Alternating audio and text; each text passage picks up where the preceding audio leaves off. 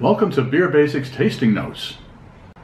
Your intrepid reporter recently purchased a six pack of Founders Solid Gold for $9.99, which comes to $1.66 per can.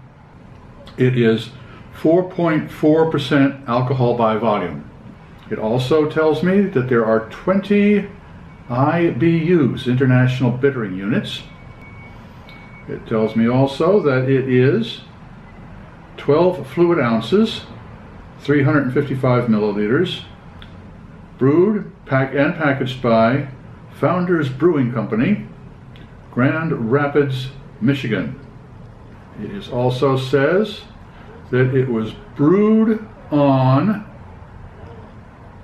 August 28, 2018. Shall we begin?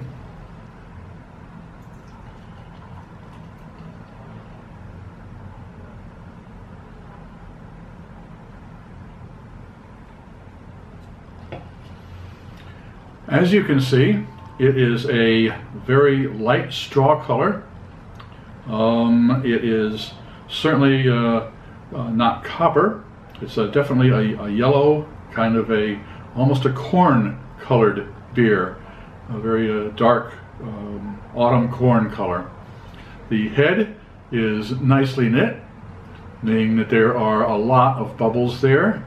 The carbonation is, is quite obvious. It looks very good. The bubbles rising nicely from the bottom of the glass.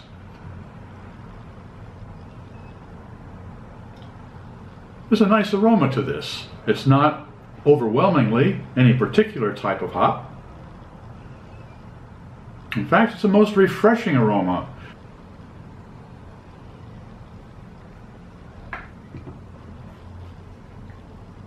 The first sip is certainly a sweet but not cloying, a very light sweetness, a grainy flavor.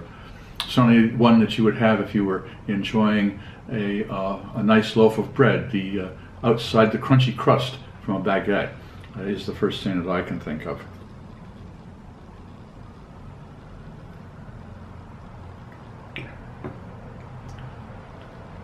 Second sip, I certainly find a nice balance. The balance, once again, between the um, sharpness, the sharpness, the bitterness, some call it, of the hops, and the kind of a biscuity, toasted bread uh, flavor of sweetness that comes uh, from the malt. There is no doubt in my mind that that meets expectations. It's a light beer. It's a really good session beer. It would be a beer that someone who is not particularly um, that beer is not the beverage, the first beverage of choice. If it's not someone's first beverage of choice, I would certainly suggest this one because it definitely does not have a sharp hop flavor to it. It's not a aggressive type of a grapefruit or any of the other type of citric uh, flavors that bounce out uh, at, uh, at you uh, over uh, with many beers. I'm Peter LaFrance, hoping all of your beers meet expectations. Thanks for watching this video. Click on the thumbs up button and I'd appreciate it. Click on my bearded self over there and subscribe. I'd really appreciate that. And if you have an idea for a place I should visit or a beer I should try, don't hesitate to let me know in the comments. And be sure to let me know what you think of this video as well. I'm Peter LaFrance for BeerBasics.com.